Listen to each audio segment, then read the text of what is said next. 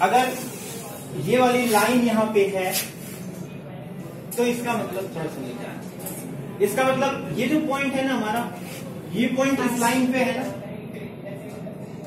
कौन सा पॉइंट है? माइनस वन थ्री और माइनस टू ये पॉइंट तो इस लाइन पे ही होता है। अगर ये पॉइंट लाइन पे है तो क्या प्लेन में नहीं होगा? तो इस पॉइंट को उठा के यहाँ पुट करेंगे एक्स वाई जेड की जगह पे। तो क्या मिलेगा? एक और इक्वेशन ए बी और सी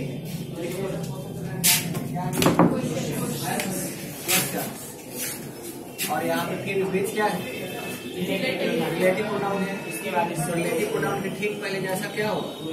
सब्जेक्ट होंगे इसी के अकॉर्डिंग क्या आएगा वर्ड आएँगे तो वॉच की जगह क्या वर्ड तब लेफ़्ट इन द एग्ज़ाम अब ये तो आप बोल रहे हैं कि वॉच ये किसका?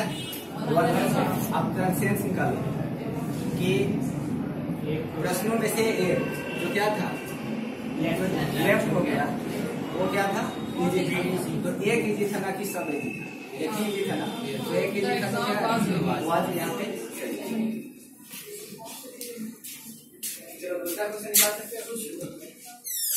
ठीक है। ड्राइंग एजेंट कौन कौन से होते हैं? फिर से बता दें। पहला कौन सा होता है? एसओ फोर के जितने भी होते हैं A L C L three और कौन सा होता है? F E C L three ये होता है।